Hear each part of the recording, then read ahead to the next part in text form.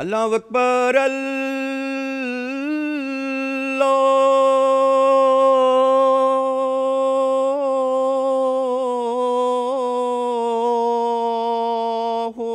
اکبر۔ اللہ اکبر اللہ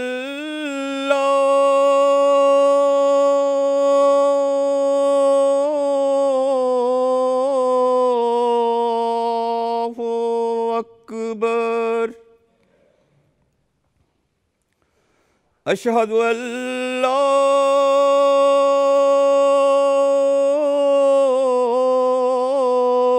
إله إلا الله.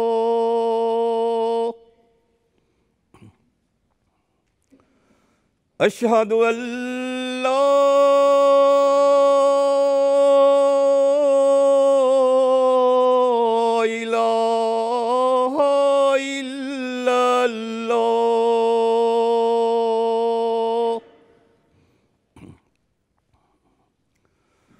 أشهد أن محمد رسول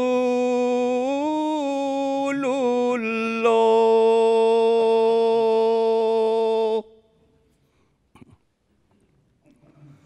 أشهد أن محمد رسول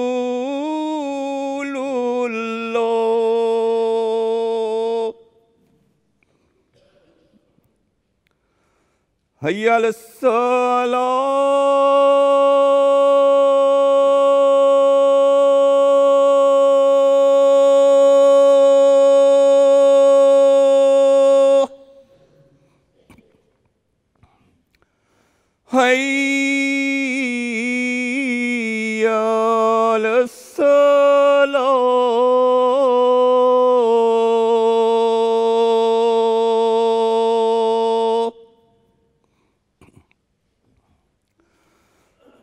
على الفلاح.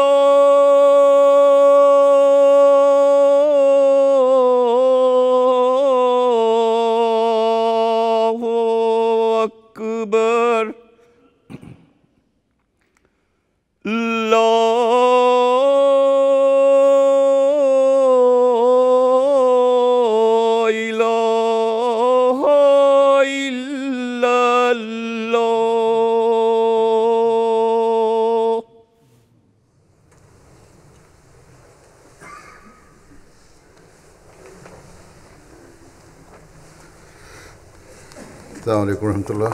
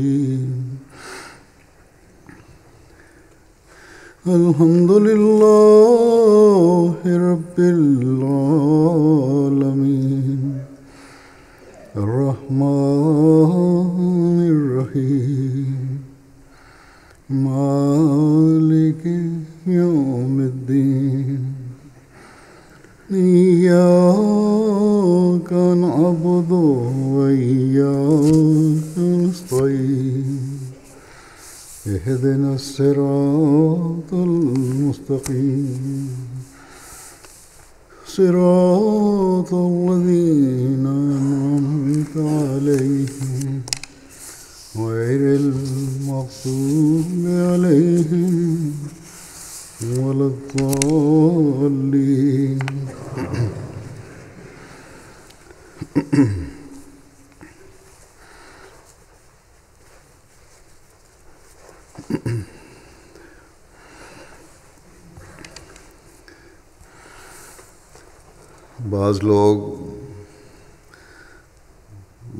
بعض عہدیداروں کے خلاف یا بعض ایسے لوگوں کے خلاف بھی جو عہدیدار نہیں شکایت کرتے ہیں کہ یہ ایسے ہیں اور یہ ویسے ہیں، اس نے فلاں جرم کیا اور اس نے فلاں خلاف شریعت حرکت کی۔ بس فوری طور پر ان کے خلاف کارروائی ہونی چاہیے۔ کیونکہ یہ لوگ جماعت کو بدنام کر رہے ہیں۔ لیکن اکثر ایسے لکھنے والے اپنی شکایتوں میں اپنے نام نہیں لکھتے۔ یا فرضی نام اور فرضی پتہ لکھتے ہیں۔ ایسے لوگوں کی شکایتوں پر ظاہر ہے کوئی کارروائی نہیں ہوتی۔ اور نہ ہو سکتی ہے۔ اور جب کچھ عرصہ گزر جائے تو پھر شکایت آتی ہے کہ میں نے لکھا تھا۔ ابھی تک کوئی کارروائی نہیں ہوئی۔ اگر کارروائی نہ ہوئی تو بڑا ظلم ہو جائے گا۔ یہ بے نام شکایت کرنے کی بیماری جو ہے، یہ پاکستان اور ہندوستان کے لوگوں میں زیادہ ہے۔ باقی دنیا کے مقامی لوگوں کی طرف سے تو شاید ہی کوئی اس قسم کی شکایت آئی ہوگی۔ لیکن پاکستانی جو باہر ملکوں میں بھی آباد ہیں، ان میں بھی بعض میں یہ بیماری ہے کہ اس طرح کی بے نام شکایت کر کے بات کریں۔ اور یہ کوئی نئی چیز نہیں ہے۔ ہر دور میں ایسے لوگ پائے جاتے رہے جو اس قسم کی شکایات کرنے والے ہیں۔ جس طرح آج کل بعض لوگ مجھے لکھتے ہیں، حضرت مسلم اور رضی ذرا عنہ کے دور میں بھی۔ خلافت ثالثہ میں بھی خلافت رابعہ میں بھی یہ شکایت کرنے والے موجود تھے جو بے نامی شکایتیں کیا کرتے تھے۔ حضرت مسلم معود رضی اللہ عنہ نے ایک ایسی شکایت پر ایک دفعہ خطبہ دیا تھا۔ کیونکہ یہ ایسے لوگوں کا منہ بند کروانے کے لیے بڑا جامع اور واضح ہے۔ اس لیے اس خطبے سے میں نے استفادہ کرتے ہوئے آج کچھ کہنے کا سوچا ہے۔ جو شکایت کرنے والے اپنا نام نہیں لکھتے یا فرضی نام لکھتے ہیں، ان میں پہلی بات تو یہ ہے کہ یا منافقت ہوتی ہے یا وہ جھوٹے ہوتے ہیں۔ اگر ان میں ضرورت اور سچائی ہو، تو کسی بھی چیز کی پرواہ کرنے والے نہ ہوں۔ عہد تو یہ کرتے ہیں کہ ہم جان، مال، وقت اور عزت کو قربان کرنے کے لیے ہر ہر وقت تیار رہیں گے۔ اور یہاں جب معاملہ ان کے خیال میں جماعت کے عزت و وقار کا آتا ہے تو اپنا نام چھپانے لگ جاتے ہیں تاکہ کہیں ان کی وقار اور ان کی عزت کو نقصان نہ پہنچ جائے۔ بس جس نے ابتدا میں ہی کمزوری دکھا دی، اس کی باقی باتیں بھی غلط ہونے کا بڑا واضح امکان ہے۔ قرآن کریم میں تو اللہ تعالیٰ فرماتا ہے کہ تمہارے پاس اگر کوئی خبر پہنچے تو تحقیق کر لیا کرو۔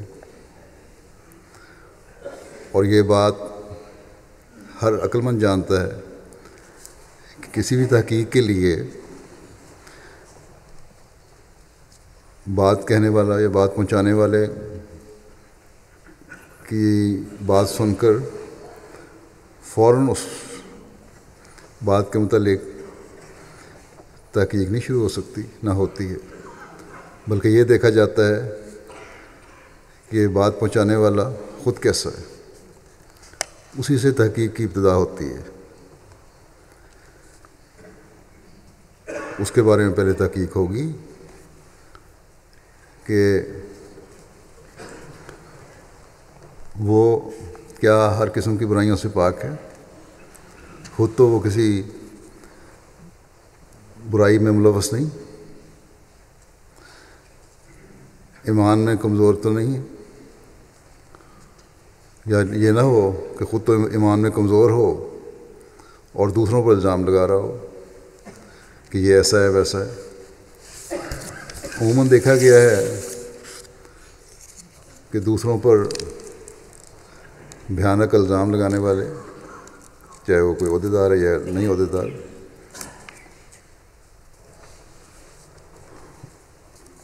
اس وقت کسی کے بارے میں بھیانک اور خوفناک الزام لگاتے ہیں یا بڑی شدت سے الزام لگاتے ہیں، جب دیکھتے ہیں کہ ان کے ذاتی مفادات دوسروں سے متاثر ہونے والے ہیں۔ بس تحقیق کرنے سے پہلے یہ دیکھنا پڑتا ہے کہ شکایت کرنے والا کیسا ہے۔ وہ مومن ہے یا فاسق ہے؟ جب شکایت کرنے والے کا علم ہی نہیں، تو یہ بھی پتہ نہیں چل سکتا کہ وہ کس زمرے میں آتا ہے۔ ہاں یہ ممکن ہے کہ اگر کوئی لکھنے والا ایسی بات لکھتا ہے جو جماعت کے مفادات کو نقصان پہنچانے والی ہے، تو پھر اپنے طور پر تحقیق کر لی جاتی۔ ہے اسی طرح اگر یہ بھی علم ہو جائے کہ شکایت کرنے والا کون ہے، تو جیسا کہ میں نے کہا کہ پہلے اس کے اپنے کردار کے بارے میں تحقیق ہوگی۔ اسی طرح اپنے طور پر اس کی جو اس نے باتیں کی ہیں، اس کی سچائی کے بارے میں بھی تحقیق ہوگی، تاکہ پتہ لگے کہ وہ سچ کہتا ہے یا نہیں؟ حضرت مسلم اور فرماتے ہیں کہ قرآن تعلیم یہ ہے، اللہ تعالیٰ نے قرآن کریم فرماتا ہے کہ انجاکم فاسقم انجاکم فاسقم بے نبائن فتبین ہو اگر تمہارے پاس کوئی فاسق شکایت لے کر آتا ہے اور کسی کے بارے میں کوئی بری بات کہتا ہے تو اس کی تحقیق کرو۔ پھر اس کے بعد کوئی کارروائی کرو۔ لیکن شکایت کرنے والے ایک تو اپنا نام نہ لکھ کر خود مجرم بنتے ہیں۔ پھر یہ بھی کہتے ہیں کہ ان کی بات اسی طرح قبول بھی کی جائے جس طرح انہوں نے لکھی ہے۔ اور جس کے خلاف شکایت ہے فوراً اس کے لیے سزا کا حکم نافذ کر دیا جائے۔ حضرت مسلم آؤد فرماتے ہیں کہ فاسق کے معنی صرف بدکار کے ہی نہیں ہیں۔ اس میں کوئی شبہ نہیں کہ عربی میں بدکار کو بھی فاسق کہتے ہیں، لیکن لغت کے لحاظ سے فاسق اسے بھی کہتے ہیں جو تیز طبیعت کا ہو۔ بات پر بات بات پر لڑ پڑتا ہو۔ فسق کے معنی عدم اطاعت کے بھی ہیں۔ اطاعت سے باہر نکلنے والا بھی فاسق ہے۔ فاسق کے معنی تعاون نہ کرنے والے کے بھی ہیں۔ لڑاکا بھی ہو اور تعاون بھی نہ کرنے والا ہو۔ فاسق کے معنی اس شخص کے بھی ہیں جو لوگوں کے چھوٹے چھوٹے قصوروں کو لے کر بڑھا چڑھا کر پیش کرتا ہے۔ اور پھر یہ بھی سمجھتا ہے، اور یہ کہتا ہے کہ اس کے جو اس نے بیان کیا ہے، اس کے مطابق دوسرے کو انتہائی سزا ملنی چاہیے۔ کوئی معافی کا امکان نہیں ہے۔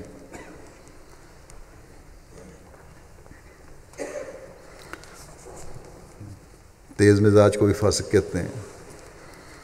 حضرت مسلم آؤ رضی اللہ عنہ ایک احمدی دوست کے بارے میں بیان فرماتے ہیں، پرانے مخلص احمدی تھے،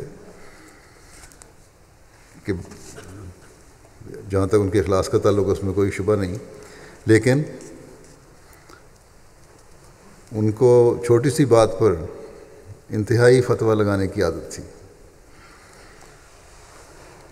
اب کہتے ہیں کہ ان کی طبیعت میں یہ مرض تھا کہ چھوٹی چھوٹی باتوں کو لے کر کفر سے برے نہیں ٹھہرتے تھے۔ کوئی بات پکڑی اور کفر کا فتویٰ لگا دیا۔ مثلا آپ لکھ دیں گے فرض کرو کہ تشہد میں بیٹھے ہوتے ہیں جب اتحیات پہ جب بیٹھتے ہیں تو اپنے دائیں پاؤں کی انگلیاں جو سیدھی نہیں رکھتا، سیدھی رکھنے کا حکم ہے، پاؤں سیدھا رکھنے کا۔ جو سیدھی نہیں رکھتا، ان کے نزدیک وہ کفر کی حد تک پہنچ جاتا تھا۔ حضرت مسلم اور فرماتے ہیں کہ میں نقرس کی تکلیف کی وجہ سے گاؤٹ تھا ان کو۔ دائیں پاؤں کی انگلیاں تشاہد کی حالت میں سیدھی نہیں رکھ سکتا۔ پہلے رکھا کرتا تھا، جب ٹھیک ہوتا تھا پاؤں۔ اب فرماتے ہیں کہ اگر حافظ صاحب حافظ تھے وہ، زندہ ہوتے تو غالباً شام تک وہ مجھ پر بھی کفر کا فتح لگا دیتے۔ تو ایسے لوگ بھی ہوتے ہیں۔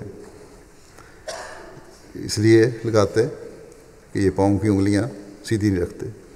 اور ایسا کرنا رسول کریم صلی اللہ علیہ وسلم کی سنت کے خلاف ہے۔ بس معلوم ہوا کہ رسول اللہ صلی اللہ علیہ وسلم کی سنت پر ایمان نہیں۔ اگر رسول اللہ صلی اللہ علیہ وسلم کی سنت پر ایمان نہیں، تو قرآن کریم پر بھی ایمان نہیں۔ اور اگر قرآن کریم پر ایمان نہیں تو اللہ تعالیٰ پر بھی ایمان نہیں۔ لہذا کافر ہو گئے۔ تو بہرحال بس مسلم باؤد نے ایسے جلد بازوں کی، چاہے وہ مخلص بھی ہو، یہ مثال دی ہے۔ لیکن جو نام بھی چھپاتا ہو اور خود ایمان میں بھی کمزور ہو اور دوسروں پر فتوے بھی لگاتا ہے وہ تو ان تمام معنی کے لحاظ سے جو فاسق کے بیان کیے گئے ہیں، فاسق ہی ٹھہرتا ہے۔ بس ان تمام شکایت کرنے والوں پر واضح ہونا چاہیے جو نام نہیں لکھتے کہ ان کا یہ فعل کہ اپنی شناخت کے بغیر شکایت کریں قرآن حکم کے خلاف ہے۔ کیونکہ قرآن کریم کہتا ہے کہ پہلے شکایت کرنے والے کے بارے میں تحقیق کرو۔ اگر صرف شکایت کرنے والے کی بات پر ہی بغیر تحقیق کے عمل ہونے لگ جائے، جس کا وہ مطالبہ کرتا ہے، تو جماعت بجائے ترقی کے انحطاط کی طرف جانا شروع ہو جائے، انحطاط کا شکار ہو جائے۔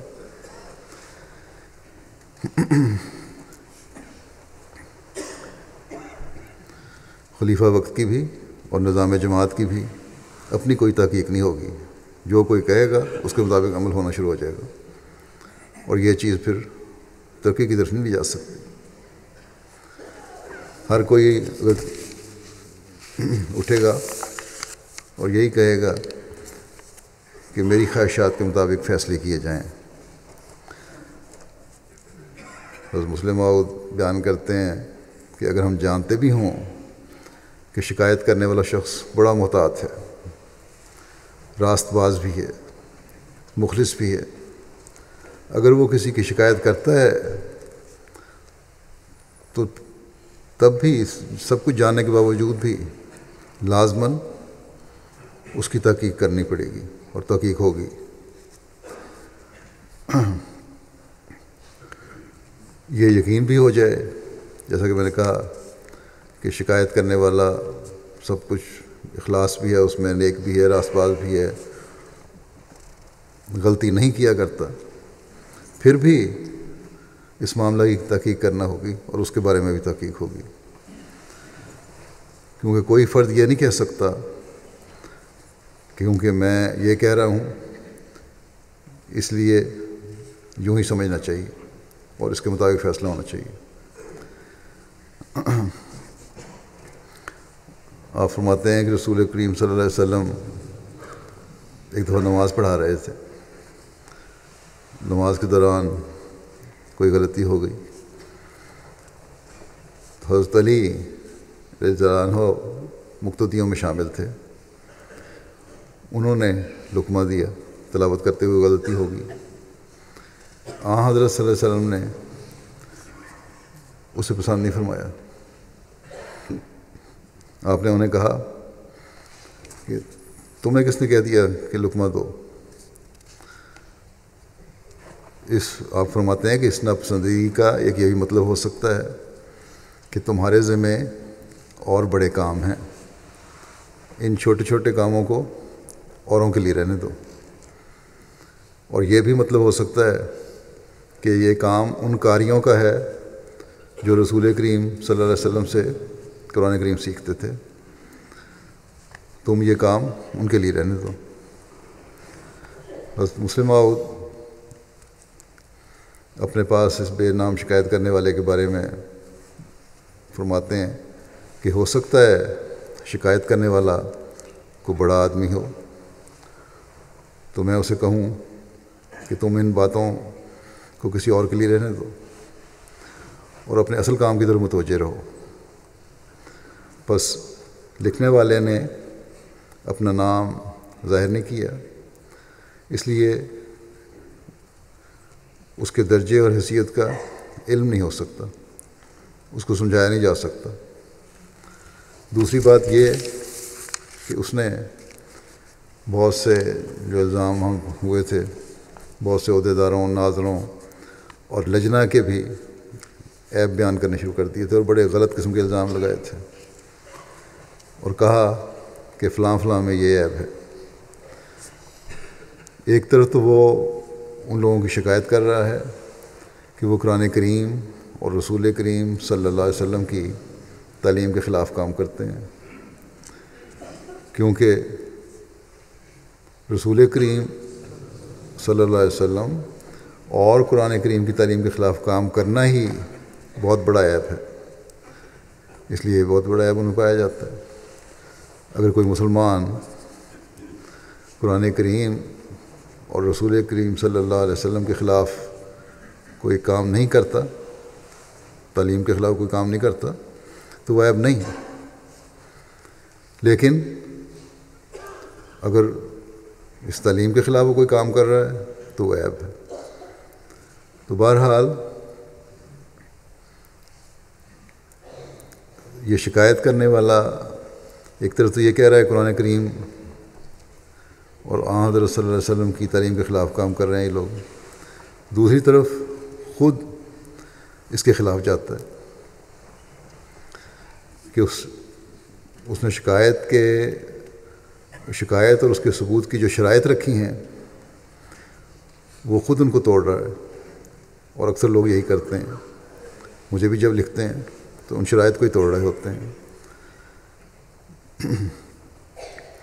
اصل چیز تو قرآن کریم کے احکامات پر اور سنت پر عمل کرنا ہی ہے۔ اور قرآن کریم تو یہ کہتا ہے کہ کھل کے جب بات کی جائے تو اس کے ثبوت مہیا کیے جائیں، تحقیق بھی کی جائے۔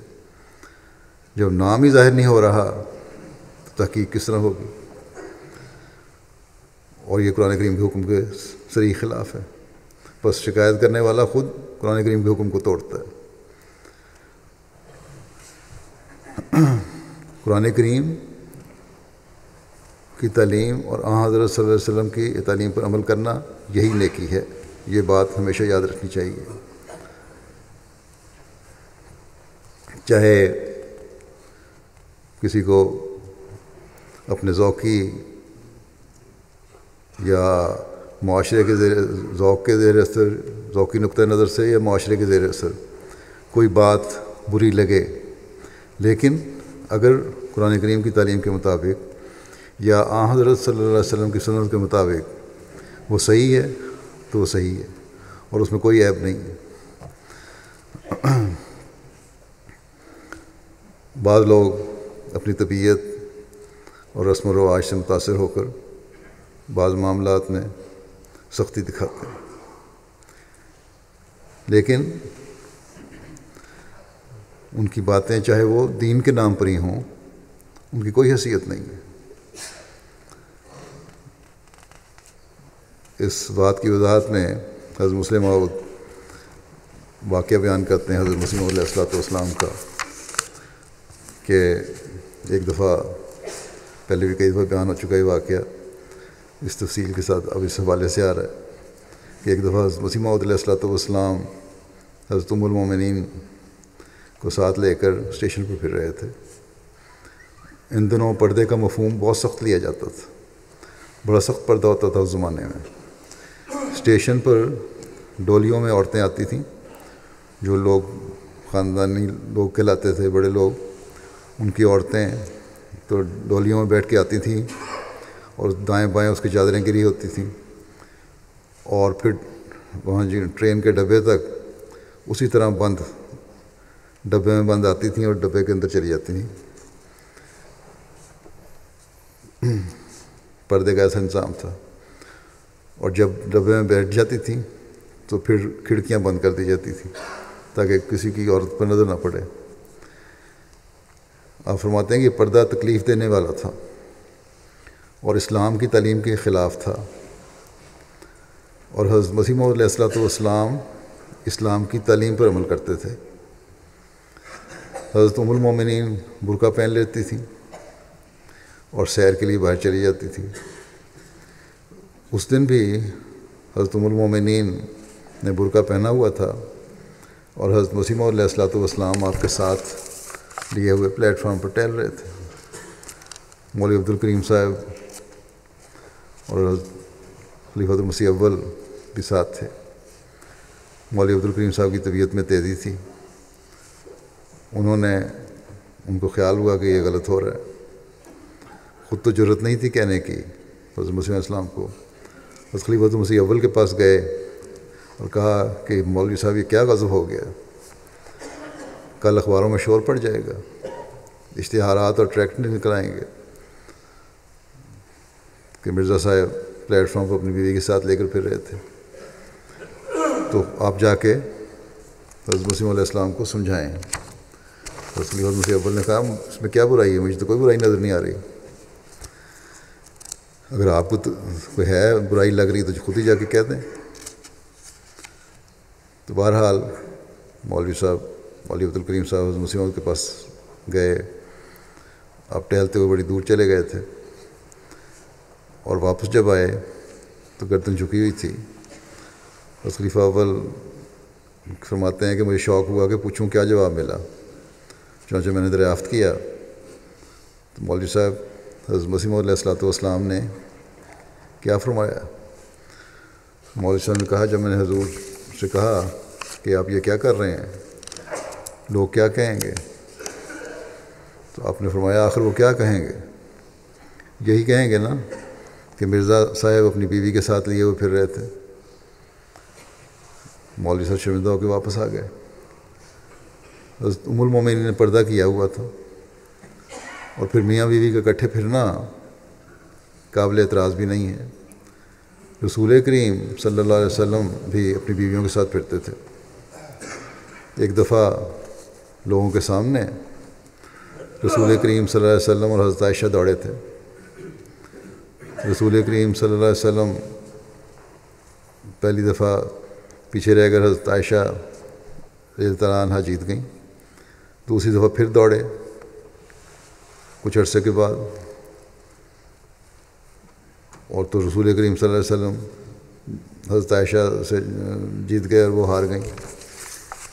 اپنے رسول کریم صلی اللہ علیہ وسلم نے اس فرمایا، عائشہ تل کا بھی کہ عائشہ، اس ہار کے بدلے کی یہ ہار ہو گئی۔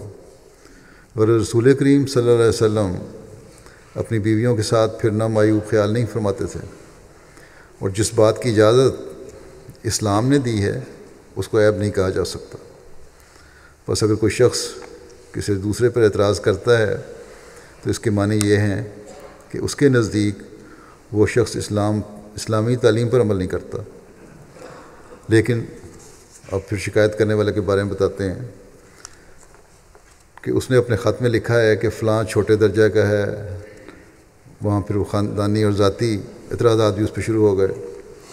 فلاں کمینہ ہے اور اس کو اپنے فلاں عہدہ دیا ہوا ہے اور بعض الزامات ایسے لگائے جس کے متعلق شریعت نے گواہ طلب کیے ہیں اور گواہ بھی ننگی روایت کے طلب کیے ہیں۔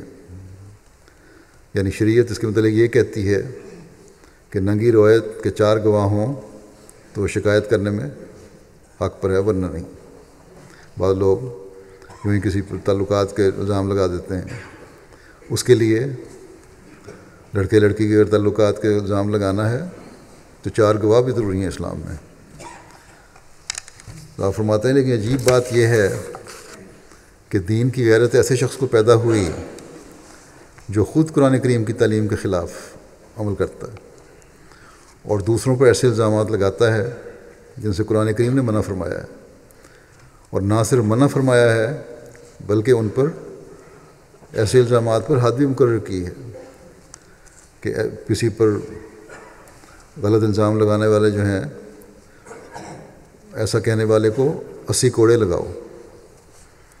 گویا شریعت نے اس بارے میں جو اتنا شدید حکم دیا ہے، وہ اسے تو توڑتا ہے اور کہتا ہے کہ یہ فلاں شخص قرآن تعلیم کے خلاف چلتا ہے۔ حالانکہ وہ خود قرآن تعلیم کے خلاف چل رہا ہوتا۔ ہے آپ فرماتے ہیں کہ دیکھو شکایت کرنے والی کی حیثیت کیا ہوئی؟ پہلے تو اس نے اپنا نام ظاہر نہیں کیا، پھر جو ثبوت ضروری ہیں وہ پیش نہیں کیے۔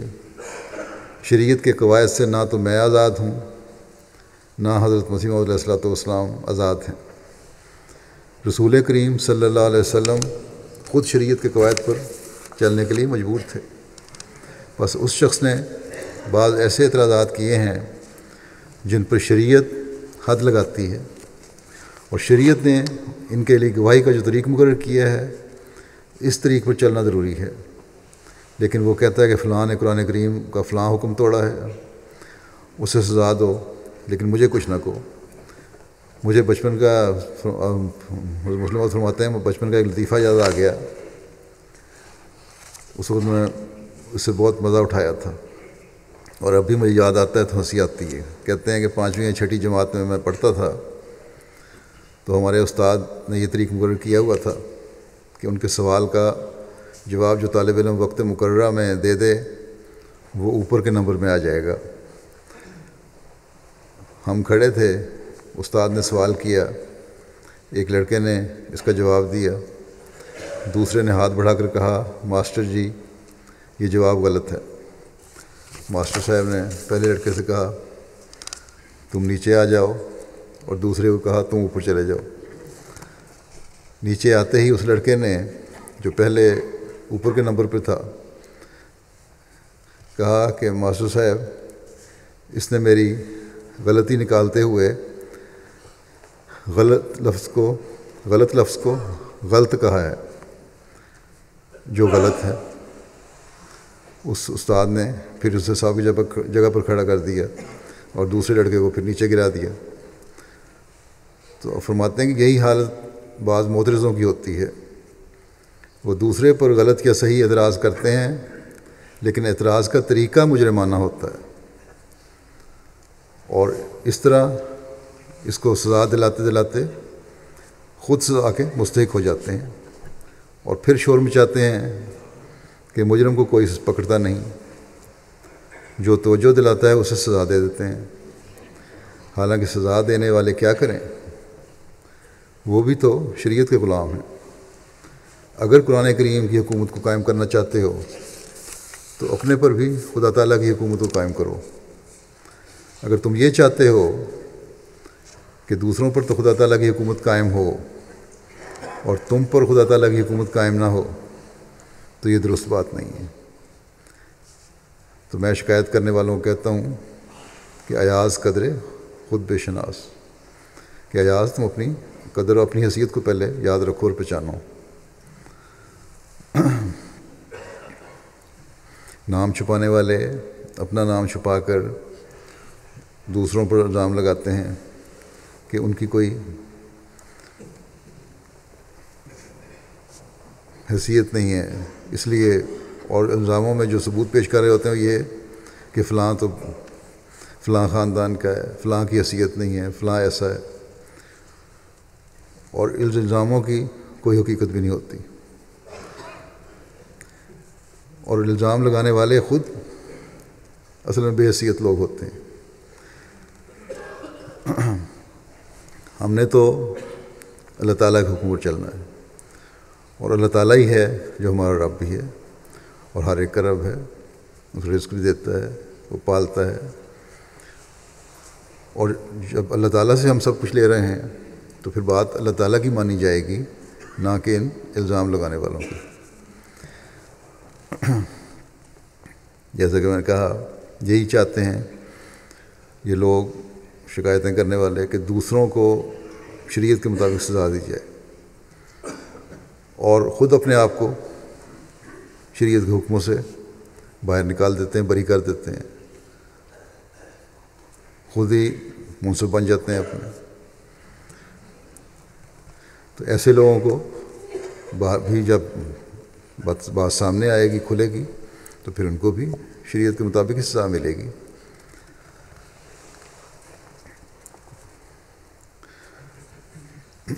بعض باتیں ایسی ہیں جہاں گواہوں کی ضرورت ہوتی ہے۔ اگر گواہ پیش نہیں ہوئے تو پھر اس بات کی کوئی حیثیت نہیں ہوتی۔ اور بہرحال اس کے شریعت کے مطابق پھر، قرآن کے مطابق پھر اس کا فیصلہ ہوگا۔ بعض دفعہ یہ کہا جاتا ہے کہ اس نے جھوٹی قسم کھا لی اور اپنے آپ کو بچا لیا۔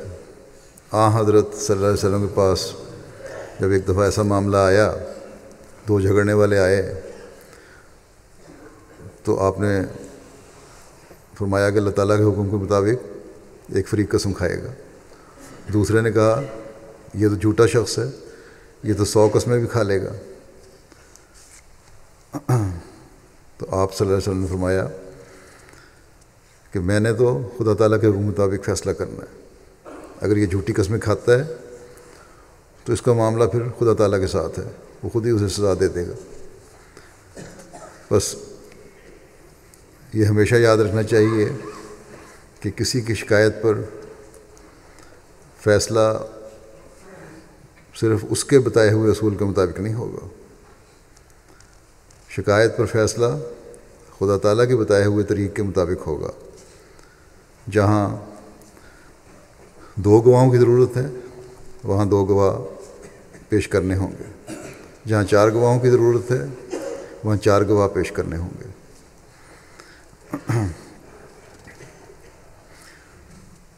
اور اس کے مطابق پھر تحقیق بھی ہوگی اور فیصلہ بھی ہوگا۔ ہماری کامیابی اسی میں ہے کہ ہم خدا تعالیٰ کے حکم کے مطابق اپنے معاملات اور فیصلے کرنے والے بنیں اور اپنی ذاتی اناؤں اور توجیحات کو بنیاد بنا کر انتظامیہ کو مجبور کرنے والے یا خلیفہ وقت کو مجبور کرنے والے نہ ہوں کہ اس کے مطابق فیصلے کیے جائیں۔ اللہ تعالیٰ شکایت کرنے والوں کو بھی عقل دے کہ وہ اگر صحیح سمجھتے ہیں تو پھر کھل کر تمام ثبوتوں کے ساتھ اور شکایت کریں جس میں ان کا نام پتہ بھی ہو۔ اور پھر تحقیقات میں وہ بھی شامل ہوں گے۔ اسی طرح لوگ جب دیکھتے ہیں کہ حقیقت میں جماعتی نظام میں کوئی رکھنا پڑ رہا ہے، تو پھر جرت سے سامنے آنا چاہیے اور شکایت کرنی چاہیے اور ہر چیز کا پھر مقابلہ کرنا چاہیے۔ اسی طرح اللہ تعالیٰ نظام جماعت جو ہے، اس کو بھی توفیق دے اور عقل دے کہ خلیفہ وقت کی طرف سے جو مقرر کیے گئے ہیں فیصلہ کرنے پہ، وہ بھی جو فیصلے کر رہے ہوں، تو انصاف کے ہر پہلو کو مد نظر رکھتے ہوئے اور اللہ تعالیٰ کے حکم پر چلتے ہوئے اور سنت کے مطابق فیصلے کرنے والے بنے۔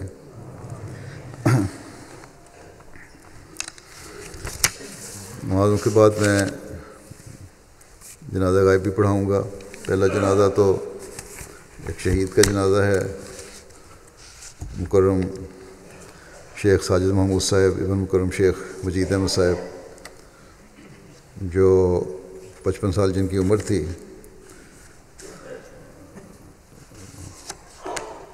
حلقہ گلزار ہجری ضلع کراچی میں رہتے تھے۔ ان کو مخالفین نے ستائیس نومبر دو ہزار سولہ کو شام نماز مغرب کے وقت گھر کے باہر گاڑی میں بیٹھے ہوئے فائرنگ کر کے شہید کر دیا۔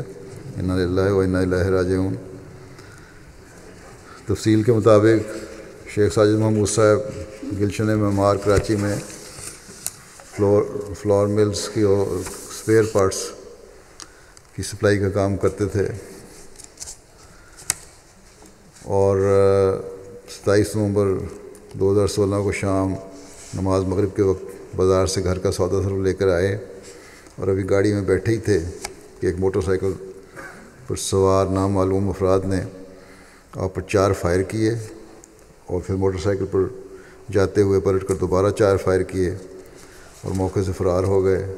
فائرنگ کے نتیجے میں ایک گولی ساجد محمود صاحب کے سینے میں دائیں طرف لگی اور پسلی سے لگ کر بائیں طرف سے آر پار نکل گئی اور ایک گولی ٹانگ میں لگی۔ ساجد محمود صاحب کو فوری طور پر قریب واقع ہسپتال میں لے جایا گیا، جہاں سے انہیں آغا خان ہسپتال شفٹ کر دیا گیا، لیکن وہ جانبر نہ ہو سکے اور علاج شروع ہونے سے پہلے ہی جامع شہادت نوش کیا۔ ان اللہ و ان اللہ راجعون۔ ان کے خاندان میں احمدیت کا نفوذ ان کے پردادا مکرم شیخ فضل کریم صاحب کے ذریعے سے ہوا، جنہوں نے انیس سو بیس میں خلیفۃ مسیح ثانی رضی اللہ عنہ کے ہاتھ پر بیت کی تھی۔ شہید مرحوم کے والد شیخ مجید احمد صاحب پاکستان بننے پر کانپور سے حجت کر کے لاہور آئے تھے اور انیس سو اکسٹھ میں کراچی میں سکونت اختیار کی۔ شہید کے دادا مکرم خواجہ محمد شریف صاحب مرحوم جماعت احمدیہ دہلی دروازہ لاہور کے لمبے عرصہ تک صدر رہے۔ آپ کے پڑنانا حضرت اللہ دین صاحب، حضرت مسیم علیہ السلام کے صحابی تھے۔ اسی طرح مکرم سیٹھ محمد صدیق بانی صاحب مرحوم، اف کلکتہ شہید مرحوم کی اہلیہ کے نانا ہیں۔ شہید مرحوم نے بی اے کی تعلیم حاصل کی۔ پانچ سال انتہائی مشکل حالات میں گزارا۔ اس کے بعد فلاور ملز کے اسپیئر پارٹس کی سپلائی کا کاروبار شروع کیا۔ جس میں اللہ تعالیٰ نے بہت برکت دی اور اسی کاروبار ہو گیا۔ ان کی شہید مرحوم کی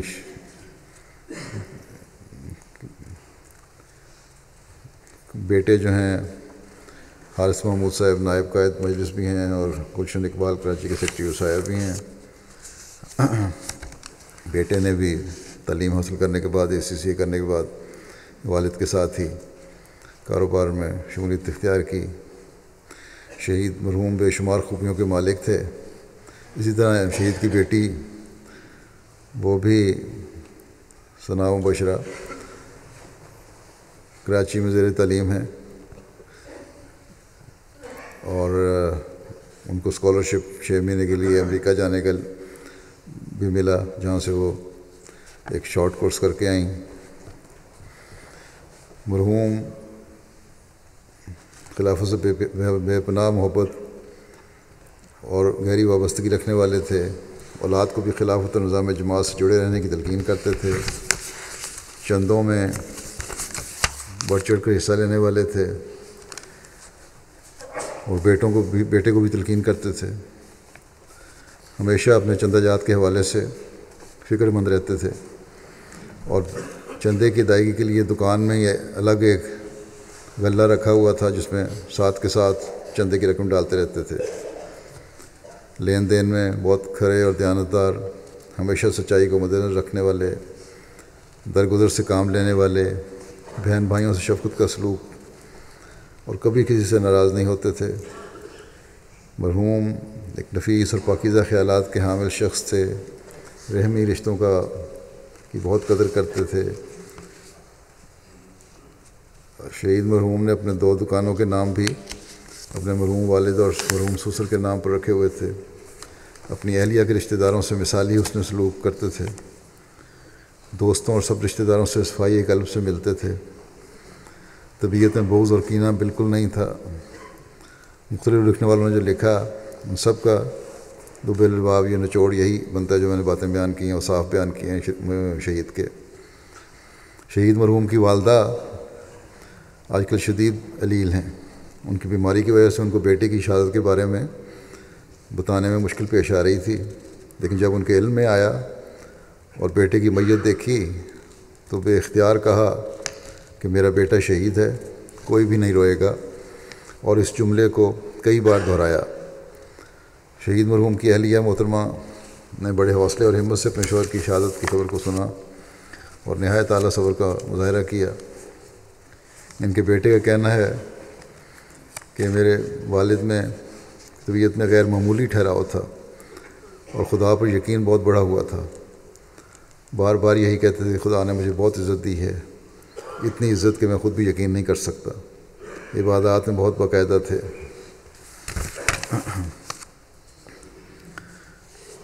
اور رشتہ دار بھی یہی کہتے ہیں، بڑے سادہ، ہمدرد، منکسر مزاج شخص تھے۔ گیارہ بہن بھائی تھے مرحوم کے اور سب عیالدار اور شہید مرحوم سب سے اس نے سلوک کرتے، ان کا خیال رکھا کرتے تھے۔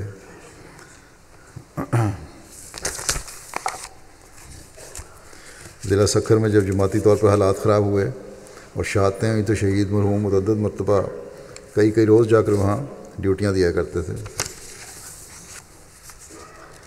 ان کی بیٹی کہتی ہیں کہ ان کی بات کے بعد میں نے خواب میں دیکھا کہ ایک بہت بڑا باغ ہے جس میں بہت سے نورانی لوگ جمع ہیں۔ سب نے اجلے اور سفید کپڑے پہنے ہوئے ہیں۔ اور ابو وہاں ان کا بڑا بلند مقام ہے۔ سب نے ابو کو گھیرا ہوا ہے اور خوشی کا اظہار کرتے ہیں اور والد صاحب ایک طرف کو چل پڑتے ہیں۔ تو سب لوگ قافلے کی صورت میں ساتھ چلتے ہیں۔ اور سب لوگ ان کے والد کو دیکھ کے خوش ہو رہے ہیں۔ شہید مرحوم کی والدہ محترمہ نہایت ضعیف ہیں۔ جیسا کہ میں نے کہا چھلنے پھرنے سے بھی قاصر ہیں۔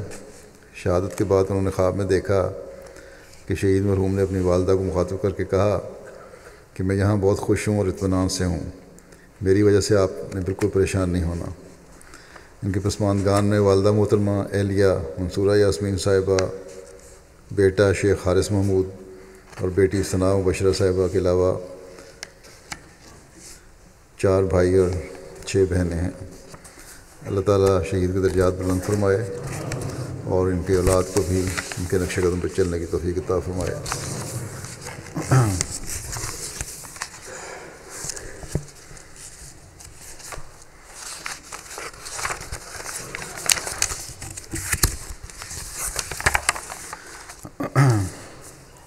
اگلا جنازہ ہے مکرم شیخ عبد القدیر صاحب، ابن شیخ عبد الکریم صاحب کا۔ جو درویش کا دیان تھے، چھبیس نومبر دو ہزار سولہ کو حرکت قلب بند ہونے کی وجہ سے بانوے سال کی عمر میں وفات پا گئے۔ انََ اللہ و انََ الہ راجعون۔ آپ کے خاندان میں احمدیت حضرت عبداللہ سنوری صاحب، صحابی حضرت مسیم علیہ السلام کے ذریعے سے آئی۔ نومبر انیس سو سینتالیس میں جب قادیان سے آخری قافلہ پاکستان کے لیے روانہ ہوا، تو آپ اپنی بیمار والدہ کو سہارا دے کر ٹرک میں بیٹھے تھے۔ کہ قادیان کے سرحد کے قریب آپ کی والدہ نے آپ کو ٹرک رکوا کر حفاظت مرکز کے لیے اتار دیا اور یوں آپ کو درویشی کی سعادت نصیب ہوئی۔ نظام خلافت اور نظام جماعت سے والہانہ محبت تھی۔ اللہ پر کامل توقر و یقین تھا۔ ہر کامیابی اور ناکامی کو خدا کی رضا سمجھ کر قبول کرتے تھے۔ اہلیہ، بچوں اور قریبی رشتہ داروں سے ہمیشہ حسن سلوک کرتے تھے۔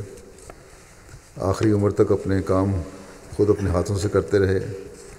ان کو دفاتر صدر احمدیہ قادیان میں مختلف سی جات میں خدمت کی توفیق ملی۔ آپ کے بیٹے نے بتایا کہ جلسہ سالانہ کی آمد کی وجہ سے آپ نے گھر میں سفیدی کے لیے سیمنٹ وغیرہ منگوا کر رکھا ہوا تھا۔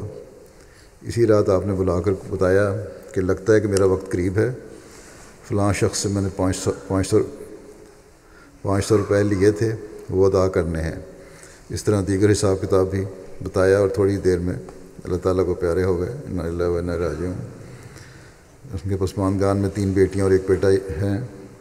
آپ کے بیٹے مکرم ناصر وحید صاحب قادیان میں خدمت کی توفیق پا رہے ہیں۔ تیسرا جنازہ ہے تنویر احمد لون صاحب، ناصر آباد، کشمیر کا۔ جو پچیس نومبر کو دوران یہ پولیس میں تھے، دوران ڈیوٹی ضلعی صدر مقام کولگام میں نامعلوم بندوق برداروں کی فائرنگ سے وفات پا گئے۔ فائرنگ سے یہ یہ بھی شہید کا ہی درجہ رکھتے ہیں۔ انا للہ و انا لہ راج ہوں شہید مرحوم سو مسلات کے پابند، نیک دل، غریب پرور ملنسار خوش اخلاق باوفا نافع الناس، انتہائی دلیر اور متوکل اللہ انسان تھے۔ مالی قربانیوں میں ہمیشہ پیش پیش رہتے تھے۔ چندے ہمیشہ بڑی باقاعدگی سے باشرہ اور اضافے کے ساتھ دیا کرتے تھے۔ اپنے چھوٹے بہن بھائیوں کی دلجوئی اور مدد کرتے اور ان کی تعلیم و تربیت کا ہمیشہ خیال رکھتے۔ ہمسایوں کا کہنا ہے کہ آپ حقیقی معنوں میں ہمسائیگی کا حق ادا کرنے والے تھے۔ ان کے ڈپارٹمنٹ والوں کا بیان ہے کہ آپ اپنے مفوضہ فرائض کی ادائیگی میں ہمیشہ چوک و چوبند رہتے تھے، کبھی بھی غفلت اور کوتاہی سے کام نہیں لیتے تھے۔ عثمان گان میں والدہ کے علاوہ دو بہنیں، چھ بھائی اور اہلیہ اور تین معصوم بچے یادگار چھوڑے ہیں۔ آپ کا ایک بچہ تحریک و فنوں میں شامل ہے۔ اللہ تعالیٰ مرحوم کے درجات بلند فرمائے۔ اور ان کے بچوں کو بھی ہمیشہ جماعت و خلافت سے وابستہ رکھے۔ نیکیوں پر قائم رکھے، ان کا خود کفیل ہو۔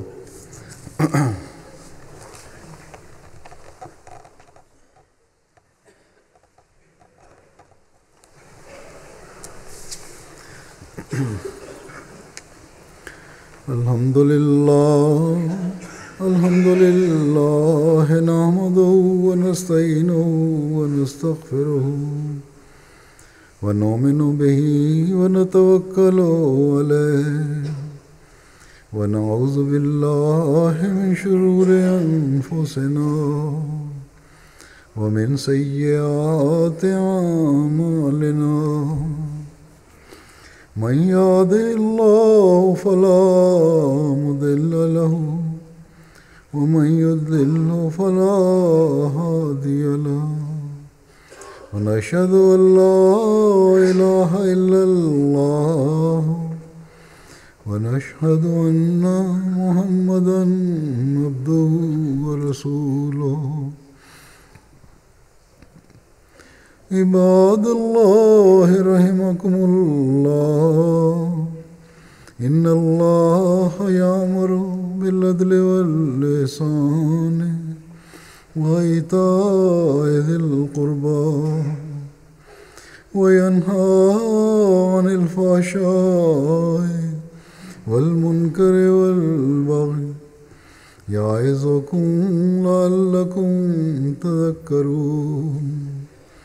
اذكروا الله يذكركم وادعوه يستجب لكم ولذكر الله أكبر.